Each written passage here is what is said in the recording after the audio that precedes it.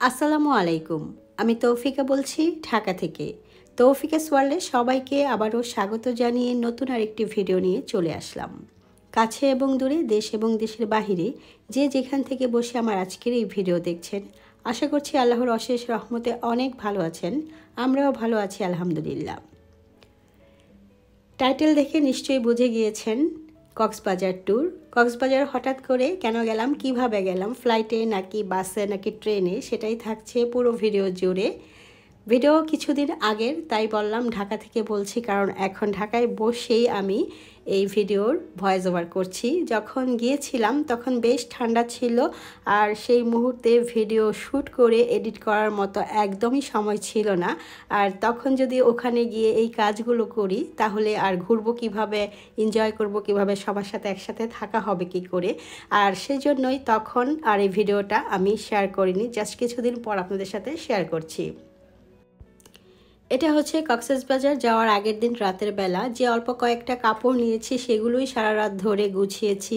আর এখন যেহেতু শীতকাল, তাই দেখা যায় অল্প অল্প করেই অনেকগুলো কাপড় হয়ে গিয়েছে। আমাদের কক্সবাজারে যাওয়াটা মোটামুটি অনিশ্চিত ছিল, কারণ আপনারা অনেকেই জানেন যে আমার আব্বা বেশ অসুস্থ। আর সেই সময়টাতে অসুস্থতার পরিমাণ একটু বেড়ে গিয়েছিল, তাই আসলে বুঝতে পারছিলাম না যাব কি যাব না। তো তিন দিন আগেই আসলে প্লেনের টিকিট কাটা হয়ে গিয়েছিল। তো বাসে যেতে চেয়েছিলাম, বাট বাসের টিকিট আমাদের পছন্দ মতো পাইনি, তাই প্লেনের টিকিট কেটেছি। তো আব্বার অসুস্থতার পরিমাণ এত বেশি হয়ে গিয়েছিল, তাই একবার চিন্তা করেছিলাম যে প্লেনের টিকিট ক্যান্সেল করে ফেলি। পরে দেখতে পেলাম যে আমার বাচ্চারা এত বেশি মন খারাপ করে, আর আমার দুই ছেলে এত বেশি এক্সাইটেড ছিল। আগে থেকেই ওদের প্ল্যান করা ছিল যে ওদের চাচা চাচিরা দেশে আসলে বিভিন্ন জায়গায় ঘুরতে যাবে, বেড়াবে। তো আমার যা ভাসুর অলরেডি এখন চিটাগংয়ে আছে, তো আমাদের ওখানে একটা প্রোগ্রাম ছিল। তো হঠাৎ করে সেই প্রোগ্রামটা ক্যান্সেল হয়ে গিয়েছে আর আমরা এখন চলে যাচ্ছি সরাসরি কক্সেস বাজার তা না হলে আমরা চিটাগাং হয়ে তারপরে একসাথে সবাই কক্সেস বাজার যেতাম।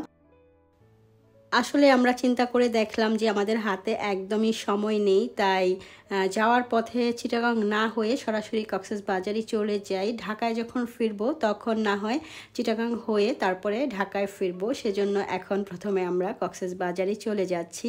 তো যেদিন আমরা কক্সেস বাজারের উদ্দেশ্যে রওনা হয়েছিলাম সেদিন ছিল হচ্ছে জানুয়ারি মাসের পঁচিশ তারিখ, আমাদের ফ্লাইট ছিল দুইটা চল্লিশে। তো সেদিন সকালবেলা ঘুম থেকে উঠে নাস্তা টাস্তা তেমন একটা ব্যবস্থা করিনি।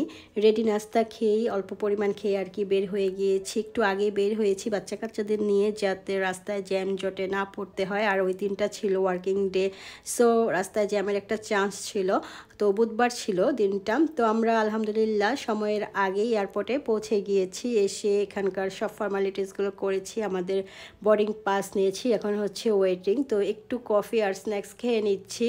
তো এখানকার কফিটা এত বেশি মিষ্টি, তো আমার কাছে একদমই ভালো লাগেনি। তো কফি, স্ন্যাক্স খেয়ে আমরা এখন ভিতরে আর কি ওয়েটিং লাউন্সে চলে যাচ্ছি। তো এখানে তো এসে দেখছি খালি ফর্মালিটিস আর ফর্মালিটিস আর এখানে সবাই অনেকে বলছে আর কি, ভিডিও শ্যুট করা যাবে না। তো যতটুকু সম্ভব আর কি আমি ভিডিও শ্যুট করেছি। এর আগেও যখন এয়ারপোর্টে এসেছি, যখন ভিডিও করতে নিতাম, তো বা ছবি তুলতে নিতাম, সেটা করতে দিত না। তো যাই হোক, আমি ফাঁক ফোকরের ভিতর দিয়ে যতটুকু সম্ভব ভিডিও করে নিয়েছি। তো এখানে কিছুক্ষণ বসে থাকতেই শুনতে পেলাম যে আমাদের যে প্লেনটা যাবে, সেটা কিছুটা সময় ঢিলে হবে।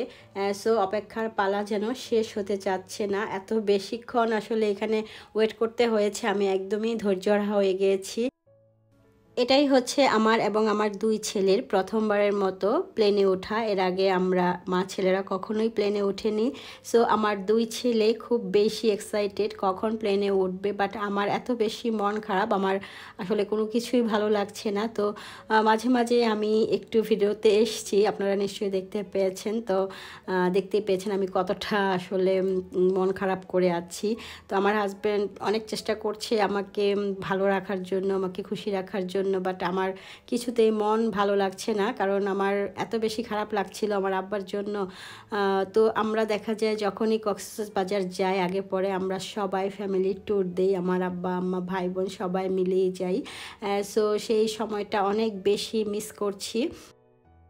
আর এইসব কথাই চিন্তা করে এই মুহূর্তে আসলে কক্সেস বাজার যেতে চাইনি বাট আমার দুই ছেলে এবং আমার হাজব্যান্ড অনেক বেশি মন খারাপ করছে। কারণ অনেক দিন আমাদের ঢাকার বাইরে যাওয়া হচ্ছে না। এছাড়া আমার বড় ছেলে তাসিন ক্লাস টেনে উঠে গিয়েছে। সামনে ইনশাল্লাহ অনেক পড়াশোনার চাপ থাকবে, যেহেতু মেট্রিক পরীক্ষা দিবে দুই হাজার চব্বিশ সালে, যদি আল্লাহ বাঁচায় রাখে। তো এর মধ্যে আশা করছি কোথাও আর যাওয়া হবে না, কারণ স্কুল তারপরে কোচিং টোচিং করে তো তেমন একটা সময় পাওয়াই যাবে না। তো আমার ছেলেরা বারবারই শুধু ওই কথাই মনে করিয়ে দিচ্ছে যে, এরা পরে তো আর কোথাও যেতে পারব না, এখন একটু ছুটি আছে একটু পড়ার চাপ কম আছে, চলো একটু যাই। তো এই আর কি, বড় একটা রিস্ক নিয়ে আমি আসলে বাজারের উদ্দেশ্যে রওনা হয়ে গিয়েছি। তো এই তো যে মিনি বাসটাতে উঠছি, সেটা আস্তে আস্তে করে প্লেনের দিকে এগুচ্ছে আর আমরা যে প্লেনটা দিয়ে যাব, এটা হচ্ছে বাংলাদেশ বিমান বাংলাদেশ এয়ারলাইন্স। তো আপনার আমরা কিন্তু অলরেডি বাস থেকে নেমে গিয়েছি। তো আমার ছেলে বারবার বলছিল যে, আমাকে একটু ছবি তুলে দাও বা ভিডিও করে দাও। তো আমি যতটুকু সম্ভব আর কি করে নিচ্ছি। এখন আমরা বিমানে উঠে যাচ্ছি তাসিন আদিয়ান, তারপরে ওর বাবা, ওরা উঠছে আর আমি পিছনে একটু একটু করে শ্যুট করে উপরের দিকে উঠছি। তো এই তো আমরা উঠে গেলাম। তো আমাদের এই প্লেনটা ছাড়ার কথা ছিল হচ্ছে দুইটা চল্লিশ মিনিটে পরে এটা আসলে এত বেশি দেরি করেছে, এটা ছাড়তে ছাড়তে তিনটা পনেরো কি বিশের দিকে ছেড়েছে। তো এই তো আমরা সবাই প্লেনে বসে গিয়েছি। তো পাশাপাশি তিনটা সিট ছিল, সেখানে আমি এবং আমার দুই ছেলে বসেছি। তার সিন যথারীতি সিট বেল্ট বাঁধাতে ব্যস্ত আর ও সব কিছুতেই অনেক বেশি আসলে নিয়ম মতো চলতে পছন্দ করে। আমার হাজব্যান্ড পাশের রোতে আর কি আমার ডান পাশে বসছে, সে আমাকে বারবার জিজ্ঞেস করতেছে ভয় পাচ্ছে কি না কারণ আমি অল্পতেই অনেক বেশি ভয় পাই আর এই টাইপের জার্নিতে তো ভয় পাবো, সে নিশ্চিত মনে করেছে। বাট আলহামদুলিল্লাহ আমি একদমই ভয় পাইনি। আমিও বাচ্চাদের সাথে সাথে অনেক বেশি এনজয় করেছি, অনেক ভালো লেগেছে। সো এখন যেটা দেখতে পাচ্ছেন এটা হচ্ছে আমাদের প্লেনটা স্টার্ট করেছে। তো তাসিন এই ভিডিওগুলো শ্যুট করেছে কারণ তাসিন জানালার পাশে বসছিল। ও অনেক সুন্দরভাবে সব কিছু ক্যাপচার করে নিয়েছে। আর যেহেতু আমি এই সাইডে বসছিলাম, তাই এগুলো আর আমি ভিডিও শ্যুট করতে পারছিলাম না। সে বলল যে আমাকেই দাও। তো এর আগে আমিও দেখিনি কীভাবে এটা আসলে হচ্ছিল, এই প্লেনটা চলতেছিল। তো এখন আর কি দেখতে পেলাম যখন এডিটিং করতে বসছি আর ভয়েস যখন দিচ্ছি, তখন আমিও দেখতে পাচ্ছি। তো বেশ ভালো লাগছে। একটা অন্য রকম ফিল কাজ করছে। তো এই তো দেখতে পাচ্ছেন, আস্তে আস্তে করে প্লেনটা উপরের দিকে উঠে যাচ্ছে আর নিচে সব কিছু ছোট ছোট হয়ে যাচ্ছে উপর থেকে। তো প্লেনটা হচ্ছে সতেরো হাজার মাইল উপর দিয়ে আসলে গিয়েছে, একদম মেঘের উপর দিয়ে গিয়েছে। আর আমি যে কথা বলছি না, আমার কথাগুলো কেমন একটু বেজে বেজে যাচ্ছে তাই না? আমার কিন্তু অনেক ঠান্ডার সমস্যা। অনেক দিন থেকেই আমি যখন কক্সেস বাজার গিয়েছিলাম, তখন থেকেই আমার প্রচণ্ড রকমের ঠান্ডা ছিল, তারপরে জ্বরও এসছিল। তো এখন ঢাকায় বসে ভয়েস ওভার করছি। এখন কিন্তু সবচেয়ে উপরে উঠে গিয়েছে, একদম সতেরো হাজার মাইল উপর উঠে গিয়েছে। প্লেনটা যখন সবচেয়ে উপর দিয়ে চলছিল তখন ভীষণ ভালো লাগছিল। নিচের দিকে একটু উকি দিতেই দেখতে পেলাম সব কিছু একদম ক্ষুদ্র ক্ষুদ্র। তেমন কিছু দেখাও যাচ্ছে না, খুব ঝাপসা ঝাপসা লাগছে, ভীষণ রকমের ভালো লাগছিল। সেজন্য অন্য কিছু শ্যুট করতে একদমই ভুলে গিয়েছি। যেমন এরই মধ্যে আমাদেরকে কিছু অল্প খাবার দিয়ে গিয়েছে। সেটা হচ্ছে বার্গার, তারপরে স্যান্ডউইচ আর হচ্ছে কি যেন ম্যাঙ্গো বার তো আমাকে বার্গার দিয়েছিল। তো আদিয়ান এত বেশি ক্ষুধার্ত ছিল, সে আমার খাবারটাও খেয়ে ফেলেছে। আর আমি শুধু ম্যাঙ্গো বার খেয়েছি আর পানি খেয়েছি। পানিটাও খুবই ছোট্ট দিয়েছে। আসলে খাবারের পরিমাণটা দেখে আমার ভীষণ হাসি লাগছিল। তো এই অল্প পরিমাণ খাবার খেতে খেতেই কিন্তু আমরা একদম ৩৫ মিনিটের মধ্যে কক্সেস বাজারের আকাশে অবতরণ করে ফেলেছি। যখনই শুনতে পেলাম যে কক্সেস বাজার চলে আসছি, ভীষণ অবাক হয়েছি। এত অল্প সময়ে কীভাবে চলে আসলাম? একদম সোনালি রৌদ্র চকচক করছে আর সেই রৌদ্রটা আমাদের গায়ে এসে পড়েছে। তো এই সময়টাতে কি ভীষণ ভালো লাগছিল, তখন আমরা সবাই চারজন এসে কিছু সেলফি নিয়েছি। তো সেলফিগুলো এই ভিডিওর শেষের দিকে দিয়ে দেওয়ার চেষ্টা করব কেমন ছিল সেই ছবিগুলো। এই তো দেখতে পাচ্ছেন কত সুন্দর সূর্যের আলো। সূর্যের এই মিষ্টি সোনালি আলোটা যখন পানির উপর পড়েছে, তখন আরও বেশি সুন্দর লাগছে।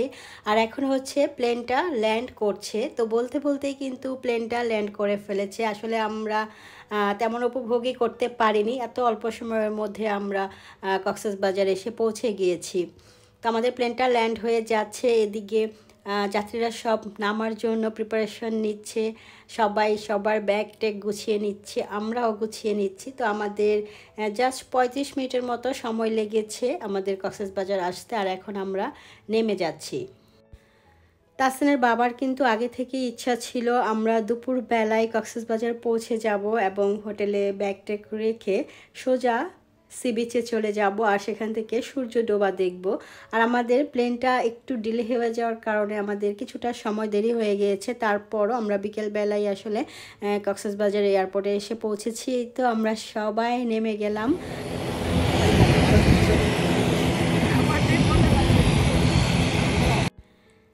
জাস্ট এখন এই প্লেনটাও ল্যান্ড করেছে। একটু কাছে থেকে প্লেনের যে ইঞ্জিনের সাউন্ড আছে, সেটা একটু শুনিয়ে দিলাম। তো প্লেনটা দেখে কিছুক্ষণ দাঁড়িয়ে আমি শ্যুট করলাম যাতে আপনাদের সাথে শেয়ার করতে পারি। আর তাসিনও বলছিল, আমাকে কয়েকটা ছবি তুলে দাও। তো এখানে দাঁড়িয়ে ওরও কয়েকটা ছবি তুলে দিয়েছি আর প্লেনটাকেও আমি শ্যুট করে নিয়েছি। তো এই প্লেনটা এই মাত্র ল্যান্ড করেছে, বিশাল বড় প্লেন তো আমরা এদিকে এসে দাঁড়িয়েছিলাম, কারণ হচ্ছে আমাদের যে লাগেজ সেটা আসতে পাঁচ মিনিটের মতো লেগেছে। তাসিনের বাবা সেই লাগেজটা কালেক্ট করতে করতে আমি এদিকে একটু শ্যুট করছিলাম। এখানে কিছু গাছ ছিল, এটা হচ্ছে কক্সেস বাজার এয়ারপোর্ট। সো এখানে তেমন একটা ফর্মালিটিস করতেই হয়নি আমাদের বাইরে বের হওয়ার জন্য। জাস্ট লাগেজ আসলো আর আমরা বের হয়ে গেলাম। এই তো যে গাড়িটা দিয়ে লাগেজ আসতেছিল, সেই গাড়িটা একটা লরির মতো। সামনে গাড়ি, পিছনে কয়েকটা খাম্বার মতো আছে। তো সেখানে আমাদের সব লাগেজগুলো রাখা আছে। তো আমাদের লাগেজটা নিয়ে আমরা এখন এই বাইরে দিয়ে চলে যাচ্ছি। এখানে আর কোনো ধরনের ফর্মালিটিস ছিল না। জাস্ট টিকিটটা দেখাইছে আর আমরা সাথে সাথেই বের হয়ে গিয়েছি।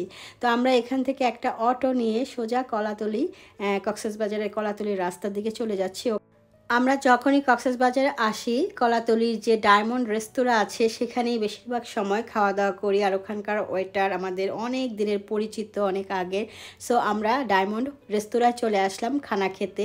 এখান থেকে খেয়ে আমরা যে হোটেলে উঠেছি, সেই হোটেলে আমাদের লাগেজ রেখে আমরা সোজা সি বিচে চলে আসছি। তো খাওয়া দাওয়া কিন্তু কিছুই শেয়ার করিনি। এখন জাস্ট একদম গধূলি লগ্নে অনেক দিন পর গধূলি লগ্নে সাগর পার দাঁড়িয়ে এক মুহূর্তের জন্য নিজেকে যেন কোথায় হারিয়ে ফেলেছি।